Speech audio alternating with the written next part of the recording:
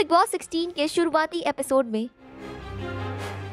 जब शिव और निमृत की फाइट हुई थी उस दौरान शिव पर निमृत चिल्लाते दिखी निमृत रोते दिखी निमृत चिल्लाते दिखी और साथ ही साथ निमृत ये भी बोलते दिखी कि उन्हें एंजाइटी इश्यूज है उस टाइम पर शिव और स्टैन निमृत के इस बात का मजाक उड़ाने लगे और उन्होंने कहा कि ये सब सिर्फ बहाना है लेकिन आज एक बार फिर से निमृत का ये रूप आया है सामने कन्फेशन रूम में बिग बॉस के सामने जाकर रोती दिखी निमृत निमृत ने कहा की बिग बॉस मुझे इन दिनों कुछ अच्छा फील नहीं हो रहा है मैं रात में अच्छे से सो नहीं पाती हूँ और कुछ शेयर नहीं कर पाती हूँ साथ ही निमृत इस बात का भी खुला खुलासा करती है कि बिग बॉस में आने से पहले निमृत मेडिटेशन ट्रीटमेंट पर थी और बिग बॉस में आने की वजह से निमृत को वो छोड़ना पड़ा पर इस बात से ये तो क्लियर हो गया कि निमृत के एंजाइटी अटैक रियल है निमृत फाइट के दौरान अपने एंजाइटी अटैक को एज अ वेपन यूज नहीं करती है फिलहाल आपका क्या कुछ कहना है इस पूरी अपडेट को लेकर हमें कॉमेंट के जरिए जरूर बताइए और साथ ही टेलीविजन से जुड़ी सभी लेटेस्ट अपडेट के लिए हमारे चैनल को सब्सक्राइब करना ना भूलें